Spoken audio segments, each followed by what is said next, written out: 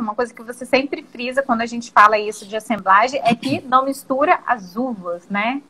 Isso, não se mistura a uva, se mistura o vinho de cada uva.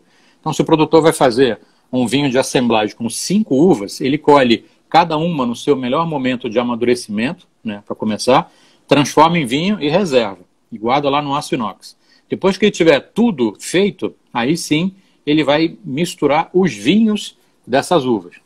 É assim que funciona. Tá? Não tem mistura de uva. É uma. É, eu tirei da frente aqui um minutinho.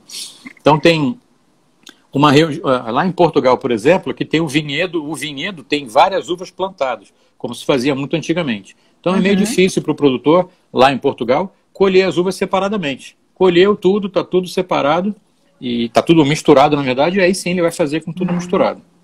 Não todo Portugal, né? Alguns lugares só, Não, né? É.